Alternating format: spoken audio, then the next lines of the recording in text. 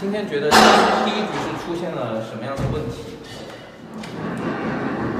有可能比较多的失误吧，尤其是在后场，我觉得这个球场会有少少的风向，我觉得。对，我看好像是你在第一局的时候风向有点特别容易出界，对，然后也一直在跟教练有一个眼神的交流，对还是试着去控制那个球吧。对我呃就是我觉得第二、第三场会稍微就是控控制得到，比较清楚自己要做什么。